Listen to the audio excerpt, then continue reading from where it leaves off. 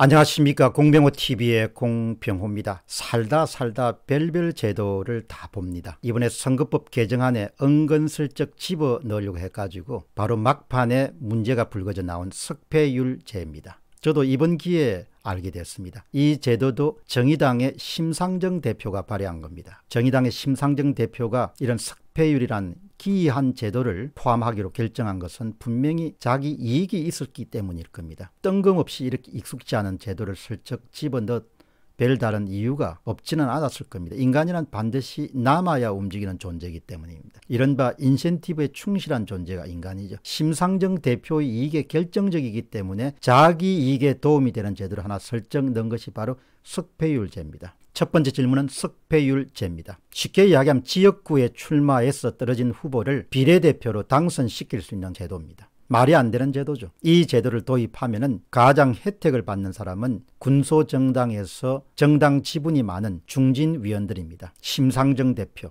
손학규 대표, 정동영 대표들이 다 여기에 포함되죠. 지난 4월 달에 패스트트랙 신속 처리 안건을 처리할 때 여당은 이런 독소조항을 여과 없이 그대로 받아들였습니다. 거듭 강조하지만 석배율제를 강력하게 주장하고 처음에 집어넣은 사람이 심상정 대표다는 사실을 기억하시기 바랍니다. 인간은 인센티브에 반응한다는 것이 진리입니다. 심상정 대표와 같은 중진 국회의원들이 지역구에서 낙선하더라도 영원히 국회의원을 해먹을 수 있도록 만드는 것이 바로 석패율제입니다. 4월 달에 무리하게 패스트트랙을 통과시 켜야 할 필요가 있었던 더불어민주당으로서는 당시에 별다른 이견 없이 심상정 대표의 주장을 그대로 수용한 겁니다. 그래야 협조를 받을 수 있으니까 4월 달에 여당과 군소정당이 힘을 합쳐서 패스트트랙을 통과시켰기 때문에 당연히 여당으로서는 석패율제를 약속을 지켜야 되는 것이죠. 그러나 이미 예산안 통과시켜버렸고 석패율제가 외부로 알려지면서 비난 여론이 일기 시작하니까 당장 손바닥을 바로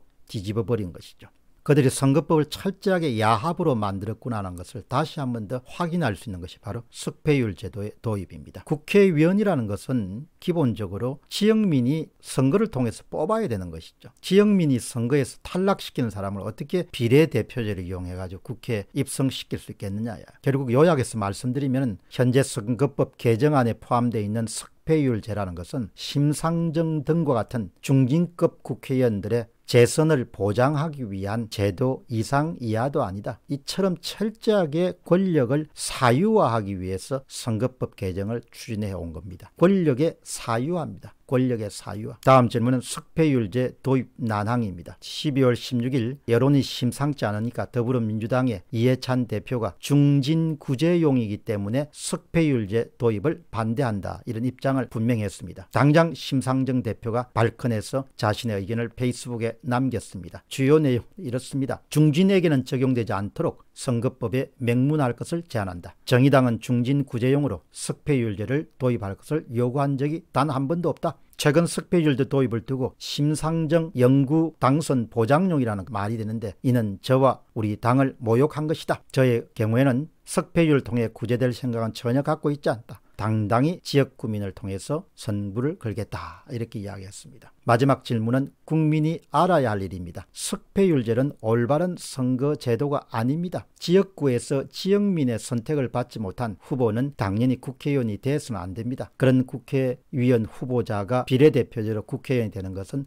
국민을 모독하는 겁니다. 마지막으로 한 번 더 강조하고 싶은 것은 우리가 어떤 제도나 정책을 만들 때 실용적인 이득을 앞세우기 이전에 우선은 옳고 그름을 따져야 됩니다. 가치 판단 기준부터 다시 정립해야 될 사람들이 대한민국 국회에는 정말 많다고 봅니다. 공병호 TV의 공병호였습니다. 감사합니다.